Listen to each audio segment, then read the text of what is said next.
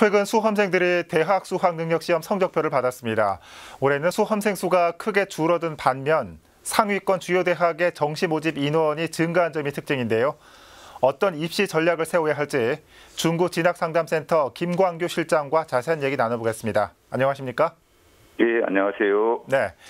최근 대입 수능 평가 성적표가 발표됐습니다. 먼저 이번 수능에 대해서 어떻게 분석하고 계시는지요? 네.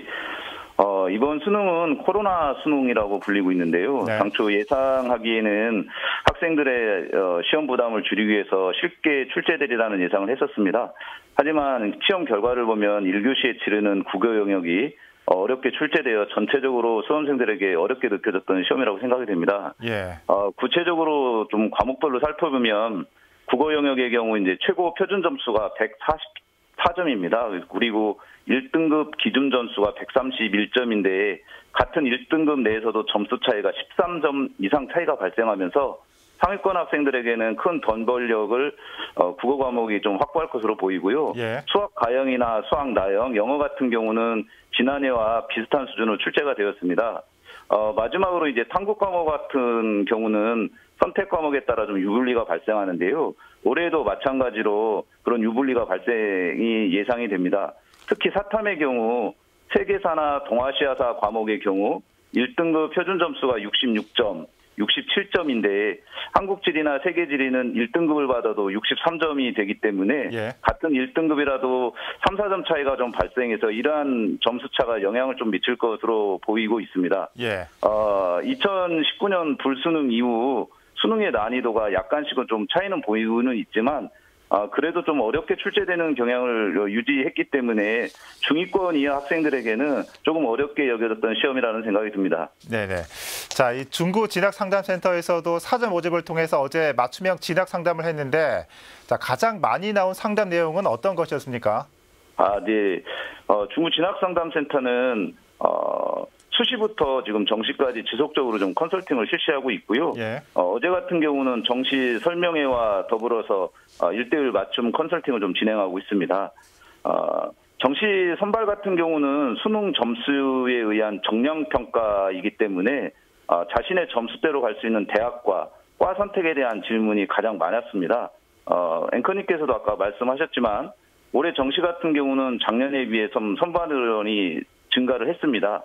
하지만 아직도 이제 76% 이상을 수시로 선발하고 있기 때문에 어, 수시 합격을 기다리면서 정시 지원을 준비하는 학생들도 좀 많았고요. 또 중간에는 신청한 학생들 중에는 어, 수시의 합격에 대해서 취소하는 사례도 있었습니다. 네. 아, 신청한 학생들 같은 경우는 이제 여러 입시기관에서 합격 예측 프로그램들을 통해서 예측한 결과를 토대서 어, 지원 가능 여부를 좀 질문하는 학생들이 좀 많았고요. 어, 또한 올 수능 같은 경우는 지원자 수 감소로 인해서 어, 대학마다 어, 뭐 입시용으로 펑크라는 용어를 쓰는데요.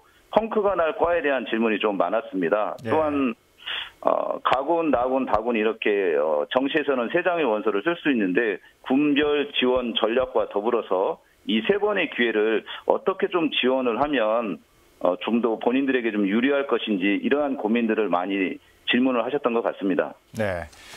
자, 이 대학 정시 모집 접수일이 얼마 남지 않았습니다. 아, 마지막으로 이번 정시 때와는 지난해와는 또 달라진 점도 있다고 하는데 어떤 전략이 필요할지 마지막으로 좀 짚어주시죠. 네, 네, 네. 어, 가장 큰 올해 수능의 변화는 두 가지로 좀 요약을 할 수 있는 것 같습니다. 예. 어, 첫 번째는 어, 보도에서 나오다시피 학령 인구 감소로 인한 수험생의 감소입니다. 아, 작년에 약 53만 명 정도의 어떤 수험생에 비해 올해 한 48만 명으로 약 5만 명 가량의 수험생이 줄었습니다. 이에 비해서 두 번째로는 이제 정, 이에 비해 정시 모집 인원이 좀 증가했습니다.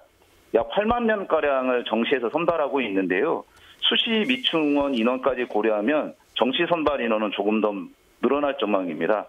어, 요약을 하면 수험생은 감소하고 정시 인원은 증가했기 때문에 예년에 비해서 조금 합격선이 조금 하락할 것으로 예상이 되고 어, 일부 어, 서울권을 벗어난 학교의 경우는 어, 미달이 되는 과도 있지 않을까 조심스럽게 좀 예측을 할 수가 있는 있습니다. 예. 다만 여전히 서울권에 있는 인과학과의 경우는 경쟁률이 좀 치열할 것으로 보입니다.